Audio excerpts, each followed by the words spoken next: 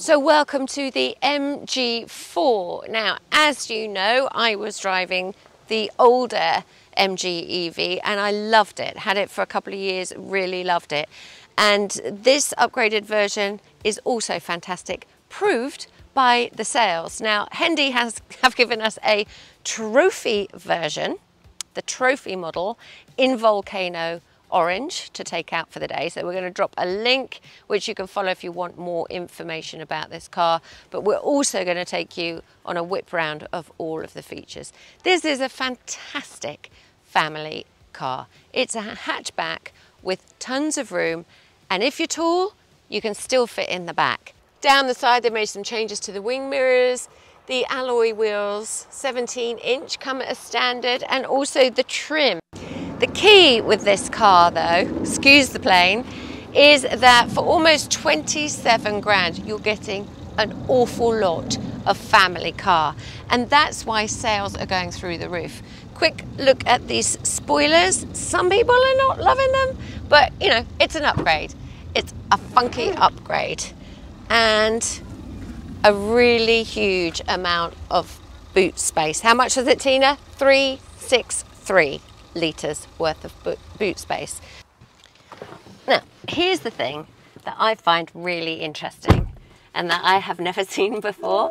When I first got in here, I was like, well, where's the on off button? It's really confusing. But when you get in and sit down, your monitors come alive. Then you put your foot on the brake and the car enters ready mode. And then you simply put it in drive and drive off. There isn't a start button. It's really weird, but no doubt one of those things you just get used to really fast. The interesting thing about this MG is it's the first one of their EVs to have been built from the ground up. The others have been builds that have been adapted from ICE cars. Um, whereas this one has been specially designed and specially built as an EV. One of the reasons this car is doing so well um, in this kind of tight family bracket compared to other cars like Zoe's, it's not just the space, it's not just design, it, it's always down to that thing range. Um, and so, as standard, they're saying 218 um, miles. But if you get the extended range model, then you could be looking at 323 miles. That's a huge leap up from the MG that I was driving before, you know. Things are changing all the time. The interior's got quite a few changes um, from the old ZS the the biggest change is that these dials here, you know, your dial that takes you from park to neutral to drive, uh, is is way up. They've they've brought it up here. We've lost much of that central console, and the screens have changed size. Um, so it's quite dramatic, really, the change in here. The main disadvantage, I think, of, of bringing everything up here in this way is actually I don't like this.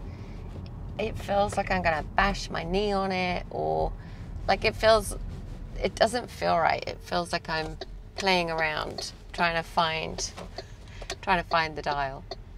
So the question is, have they done what they intended to do, which is simplify everything. So where your regenerative braking stuff used to be on your steering wheel, it's now been moved to uh, this this lovely little screen.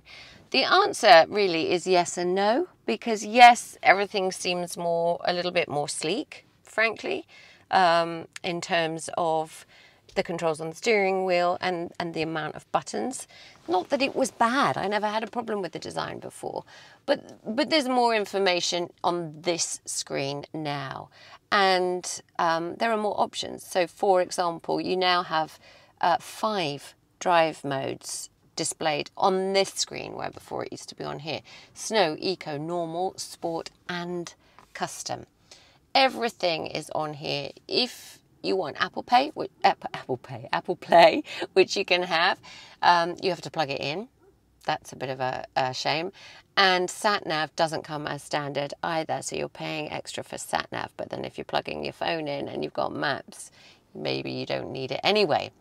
Um, so there's a lot going on now on that screen, um, and that feels a bit messy to me. No doubt, I'd get used to used to it, I guess. Um, but, but juggling between the two screens, there feels like almost too much going on on the screens for me. But that seems to be the general gist of things. More going on on screens, less going on in terms of dials and buttons. It's much of a muchness inside. It's great for storage, this car. It is all round a really good family car. The trim on it, I don't know if you've noticed, is really subtle. It's just a little blue stitch here that makes it stand out that's really nice. Standard glove compartment, your phone goes here, uh, just in front of that park uh, neutral drive dial. Um, and you've got storage in the middle, storage here, and storage, plenty of storage um, in the sides. Now they do call this a city car. Well, some reviewers do. I, I disagree. I don't think it is a large city car. I think it's just, you know, for zipping around the country lanes, it's just as perfect. It's a fantastic family car. What can I say? It's got five star NCAP rating. It's even got an 80,000 mile, seven year warranty. I think this with its with its new extended range particularly is still a brilliant family car. Especially for the price